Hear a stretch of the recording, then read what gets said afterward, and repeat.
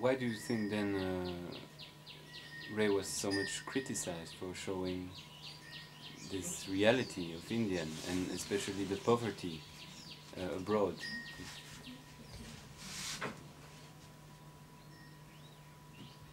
Ray didn't have a good time of it.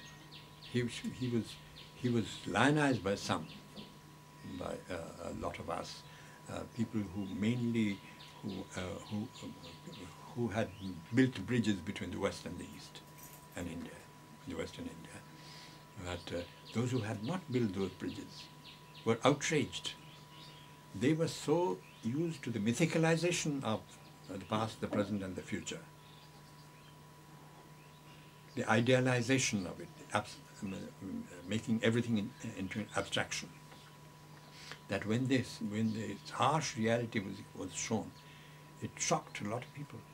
Uh, I remember that um, critics wrote saying he should have made the old woman a little more beautiful. After all, old age has its own beauty. And uh, his, his, talking about his children, the, the, children are too harsh. They're cruel. Children should, shouldn't have cruelty in them. This is a convention. This is the mythicalization that I'm talking about.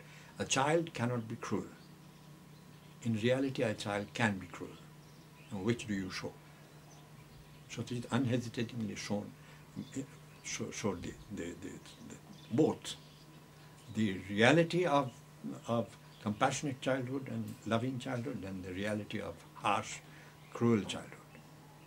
Uh, in uh, Apur Sansar, uh, in yes, in Apur Sansar, the world of mm, where uh, Apu uh, Kajal is, uh, is, is, is chasing uh, animals and, and try, trying to hit them with arrows and things like that. It was criticized by some, some early critics.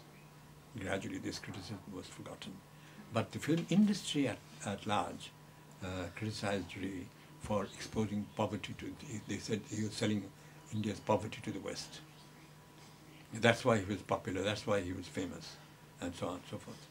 Mm. And in fact, uh, as you know, Pather Panchali was sent abroad only after uh, Jawaharlal Nehru intervened and said, no, uh, a film like this cannot be, uh, cannot be stopped from going abroad. And uh, mm, Ray himself said, and many of us said, that uh, the uh, West will understand India much better when it sees that India understands itself.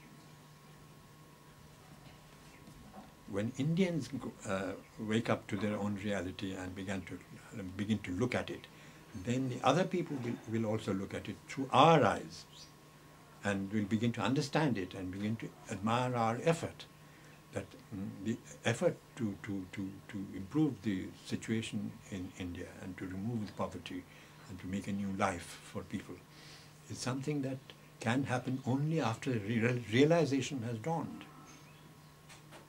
And this, this, is, this is the film, this is, this, this is the film, Pather Panchali, that is, that, that shows that realization, that we have realized what we are. And this is something that we could not explain to the film industry. It's too subtle for them.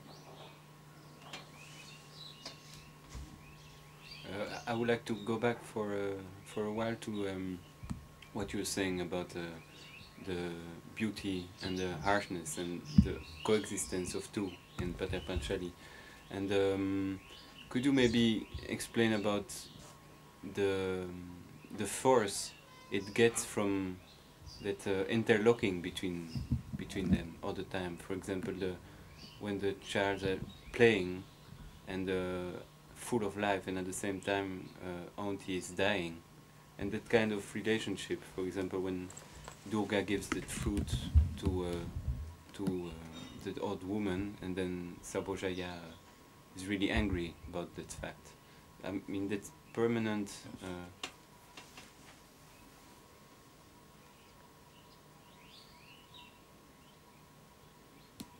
And one of the most fascinating things about Pather Panchali, one of the new things, I would say, uh, in, not only in the Indian context but in the context of cinema as a whole, is the uh, juxtaposition of, uh, of the harsh and the beautiful, and mm, the flow of one into another,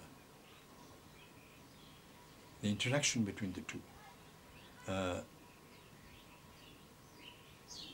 there's probably, if I'm asked to name the one aspect of the trilogy, which is the most, which most affects me, it's the deaths.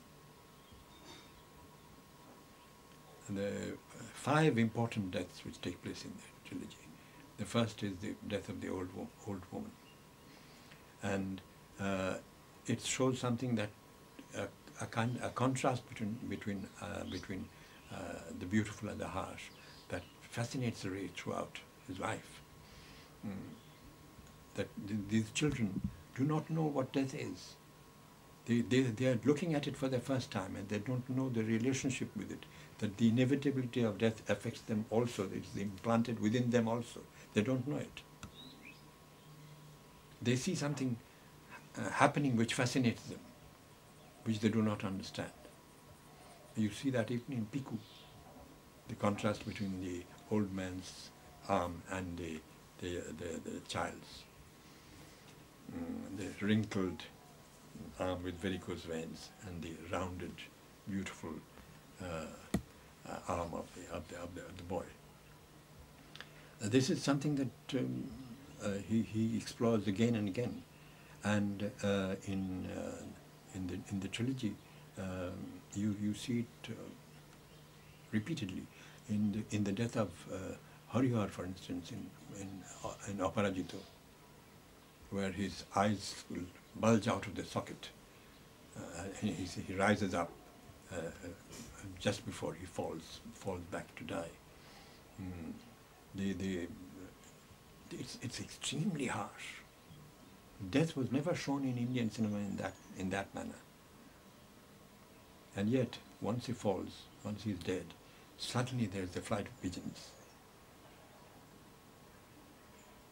It's, it's beautiful to look at. It's, uh, it suggests this, the flight of the spirit from the body, from this, of the soul. It goes back to Indian, Indian philosophy. And it, it's, it compresses a whole lot of uh, images and thoughts and uh, traditions into one single image. Uh, then the death of Shab- Sarbojaya also. when she sits under the tree, I've, I've talked about this already. Uh, the, the, the, uh, the feeling you have of life slowly, little by little, ebbing away in an inevitability which, which you cannot fight, which you must understand and accept. uh, as inevitable as a part of, of the whole cycle of existence. And, and then in the sudden death of, of uh, the un- uh, death which is not shown uh, in uh, of Aparnaim, and uh, of Opu. And the death is really shown in her face when she lights it up, when, when she lights up, a, a, a, strikes a match uh, in order to light Opu's cigarette. And the, but the light falls on her face and gives it an unearthly kind of glow and a suggestion of impending death. That uh, it's, it's, it's, a, it's, it's a momentary, that it's a momentary uh, uh, flash of light, you know, which, uh, um, which, which presages death and, and, and the end. Uh, and which emphasizes, underlines the, the nature of life, that the, the evanescence of life, that uh, uh, the moment of life always coexists with the moment of death. Mm, I've left out one death, which was of Durga, which I don't like that much, uh, as much as I like the other deaths. Uh, I think in the death of Durga there is probably a little drama which uh, doesn't affect me to the same extent. The, the naturalness of the deaths in the in the in the other uh, episodes, but uh, the harsh, uh, the contrast of harshness and and and beauty is, uh, for that reason, I'm saying, a con- contrast between life and death.